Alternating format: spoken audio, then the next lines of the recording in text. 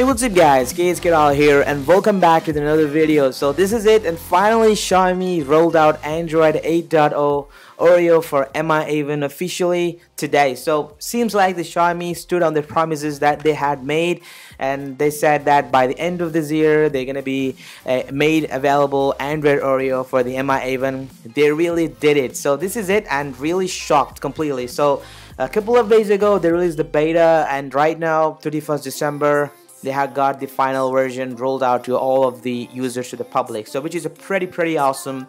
And uh, there we go. It's the Xiaomi's Mi A1 and the update size is around maximum of 1.1 gigabyte in size.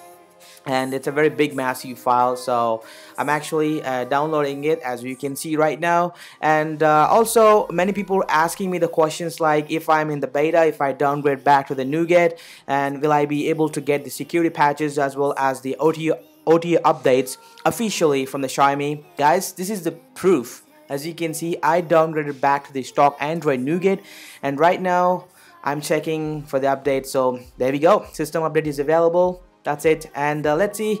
And uh, I'm going to be ready to install. Once it's done, I'll be right back with you guys.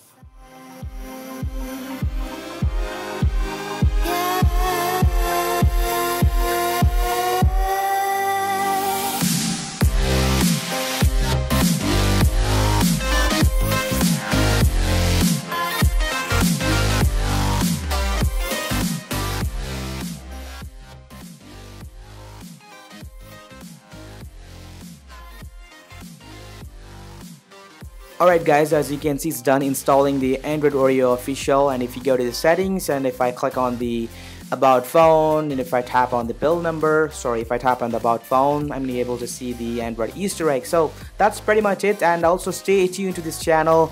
I'm going to post a lot of features like hidden features and full review of Android Oreo official on Xiaomi's Mi A1. So as you can see, seems like they have fixed the camera bug. Uh, in earlier betas, the camera is very very sluggish on if you take a pictures and it's not perfect and pictures are not very crisp and clear.